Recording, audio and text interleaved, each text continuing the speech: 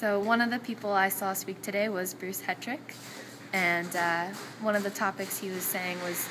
giving an emotional appeal when t- uh, doing advertising and PR. And a story he told was uh, about a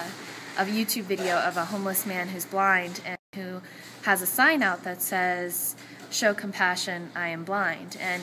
you know, in downtown cities, lots of beggars. Most people just pass them without any compassion at all, throw change at them, you know, not not really get much of a response until this advertiser walks by and changes his sign and the blind man doesn't know what he's written but all of a sudden people start responding and giving him money and the rest of the day um,